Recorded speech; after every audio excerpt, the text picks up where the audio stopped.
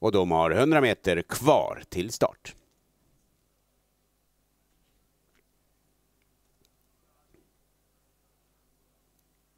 Där släpper bilen iväg fältet. Mitt i banan har vi med nummer eh, fem Solens Alicia. Vi har Didi Dam. Vi har Solens Alicia främst utifrån. Kommer då också nummer sex Didi Dam och tar över. Längre ner på innerspår finns nummer två Queen Treasure. Första häst i andra spår tre On Fleur Meras.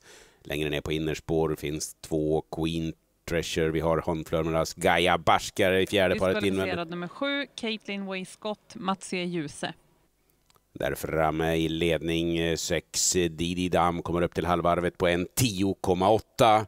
På dennes utsida finns nummer tre Onfleur med Rass i rygg där. I andra paret utvändigt ett Gaia Barsk. Där finns nummer nio Harriet Webb, 10 Queen of Fashion. Där avslutar i ett andra spår 12 Invidia. Vi tittar på innerspår i rygg på ledaren. Där har vi med nummer fem Solens Alicia, 2 Queen Treasure, 11 Galeras avslutar där innerspåret 1 8 Muscle De Jacker. När vi nu har dem ut på den sista bortre långsidan. Vi har strax passering eh, 1000 meter. Didi Dam främst på utsidan. Treon Flörmeras. Varvet har vi öppnat på 1.12,2. Inga rörelser i kön. Vi har Didi Monflör med Meras på utsidan. I rygg på ledaren eh, Solens Alicia. Där har vi också ett Gaia Barsk 2 Queen Treasure.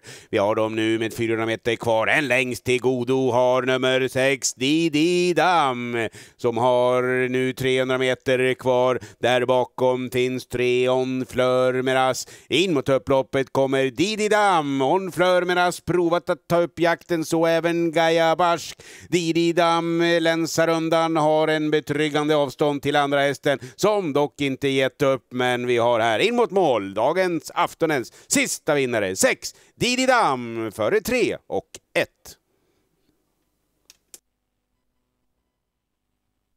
Ja, vi är försiktiga nu, ska vi vara allihop när vi träffas. Många som har varit jätteglada för att komma hit på Traviker. Visst är det lite skönare med folk på plats? Ja, det, det gör stor skillnad. Det, det betyder mycket för oss aktiva.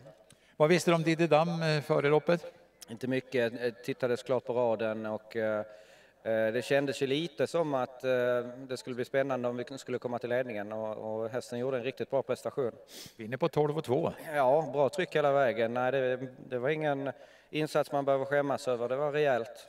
Hur känns det numera? Du kör inte så frekvent, du åker runt och catchar, men det blir en hel del ändå? Ja, ja alltså jag det kanske har blivit överdrivet för jag, jag kör ju tusen lopp om året och, och, när man pratar med någon utanför travet och säger att man kör aningen mindre och bara kör tusen lopp. Jag, jag är ju igång och tävlar mycket ändå, det, det är jag. Men, eh, men jag är inte lika hård som Uffe exempelvis. Som, som, eh, ja, han, han är fantastisk. Alltså, det, den insatsen han gör, den är, jag ska inte säga övermänsklig, men nästan till. Det, det är bara att lyfta på hatten.